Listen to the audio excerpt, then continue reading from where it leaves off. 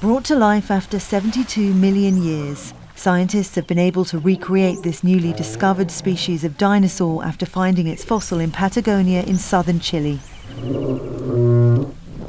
Eslabón evolutivo hacia los picos de pato it's an evolutionary link to duckbills that have only been found in the northern hemisphere. So to find one here, so far away from all the others of that type that were known, is an important biogeographical mystery. How they managed to survive here, isolated in the south of the world, that's also a story.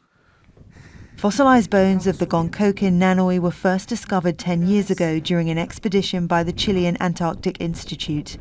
Researchers dug up more than 100 fragments, which were used to digitally reconstruct the skeleton.